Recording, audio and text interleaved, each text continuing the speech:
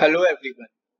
In the option architect, you have a box in which you can select your input to make an option strategy.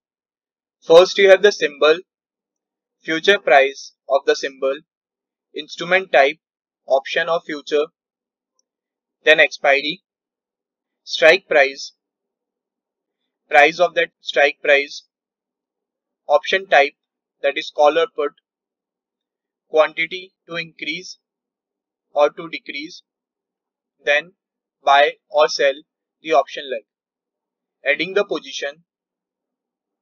On the second page, you have the leg details along with the strategy leg, option Greek. Clicking on add, you can add one more leg, use leg-wise IV, delete, and the table view. Upper, you have the option Greek for the strategy and on the right side you have the payoff chart in which the white line is indicating the payoff as on date and the orange line is indicating payoff as on expiry.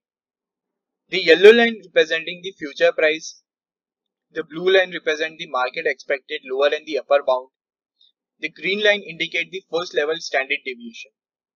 Lastly, you also have the what if analysis for which you have the days and the IVSQ slider.